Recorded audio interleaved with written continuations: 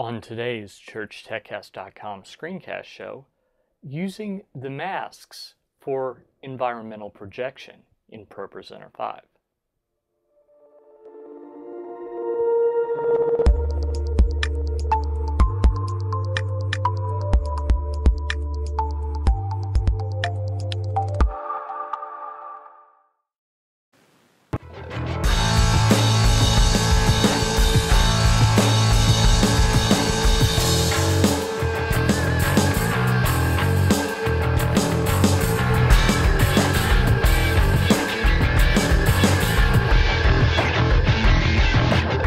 Hi, and welcome again to another episode of the ChurchTechCast.com screencast show. This is the show where every week we talk about using software in the church. My name is Paul Alan Clifford, and I'm your host. I'd love for you to ask your questions, by the way. So leave those right below the video, whether you're watching this on YouTube or on trinitydigitalmedia.com. If not, if you're more of an email person, just drop me a line, paul at trinitydigitalmedia.com, or hit me up on Twitter, Paul Alan Clif, P A U L A L A N C L I F. So today's topic comes from someone who was trying to use both masks and props to do some masking. He was doing environmental projection, and sometimes he wanted it on in certain areas, and sometimes he didn't. So he ran into an issue when he upgraded his license to enable lyrics in multiple places. So I thought we would take a look at what I think he was trying to do. Um, I couldn't find the thread after I found it initially. And a way to add and remove certain pieces of a mask without adding or removing the whole thing. So let's head on over to ProPresenter 5. So here we are back in ProPresenter 5 and there's a feature of the mask layer that I wanted to show off. I got in a discussion last week with someone who was really upset because he needed to use multiple masks and he was using a TripleHead2Go and doing a few things. I don't know if this will actually solve his problem, but I thought it was at least an interesting piece of information. If you had assumed that a mask was just one thing and you either had it on or you had it off, and those were your choices. It's actually not quite that way. So let's go into the mask layer and you'll notice first off that I have two masks here. That's an important piece of the puzzle. You'll also notice that I've adjusted the transition time down here. So if I put it on zero, that mask will just pop in and when I click clear mask, it'll pop out.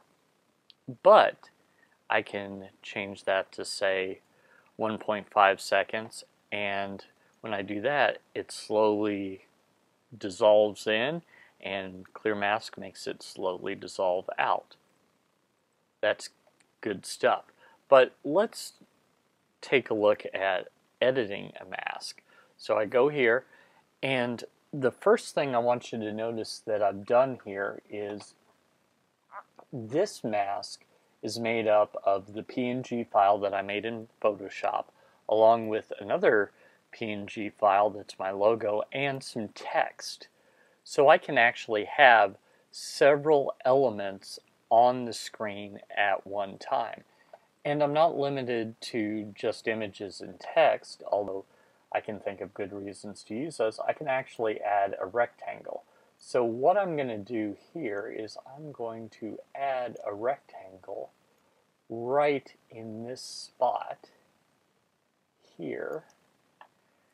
And let's imagine that this is a uh, this is where a big screen is and I'm using this for environmental projection or something like that. So since I'm using the exact same mask over here that I created in Photoshop and they're placed in exactly the same spot. So if I go over here to this layer and make sure that I select that. And then I believe it is over here. Yeah. Then I've got the XY coordinates and I've got the width and height coordinates. Since this display is a 720p display, that's why I've chosen those. The angle is set the same. So I could potentially, let's say that I needed this to be 15 degrees. Well, that's not going to be the same as this, but I can take this and I can make it 15 degrees as well.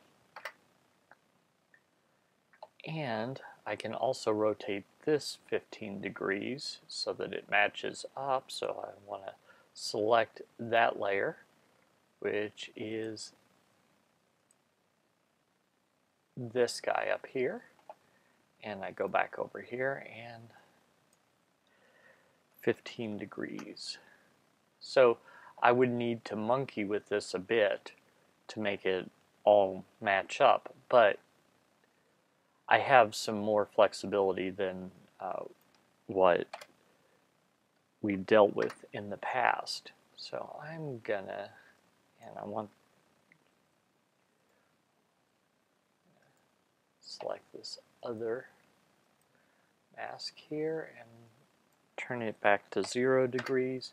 So you really have the ability to tweak each of these as you need them and then match them up. This is the important part in ProPresenter so that you can in effect mask and unmask things at will. So let's close this out and we'll open the mask dialog again and so let's start with this and this cross dissolves in or it could just cut in if I lowered this and you'll see that I have this masked off but this over here is free and open now if I click on this one guess what happens cross dissolves in this mask so it's closed off so I don't need to go into the props layer to put thing, layers of masks in and out. I can do this all in the mask layer. So, for example, if I had a projector right now that was shooting in this area and I just wanted to shoot nothing at it, then I'm masking this off for environmental projection purposes. And then if I want to go back to letting that shine through, I can do that. And in effect, what that does is it only adds or takes away this piece right here. Now it also adds or takes away the other logo, but I didn't have to put that in itself. So really I have a lot more control here than would be immediately uh, obvious that I can mask and unmask portions of it as well as clearing the mask for the whole thing. And my machine apparently doesn't like that because I'm also recording. So I hope that helps you in doing environmental projection with ProPresenter 5. Well, I hope that helped you. This is just one of the great features of ProPresenter, and it's why I'm such a big fan of it. If you like this content, don't hesitate to comment, like, subscribe, all that fun stuff below, or subscribe to my free email newsletter. So head on over to trinitydigitalmedia.com slash gifts, and there you can get a free gift like my ProPresenter 5 top 5 tricks that I love to do and a free copy of my newsletter. Just go over there, give me a good email address for that. Don't give me the the one you never check because you won't get free tips if you don't check it. See how that works? And uh, we can go from there. Till next time, this is Paul Alan Clifford with TrinityDigitalMedia.com.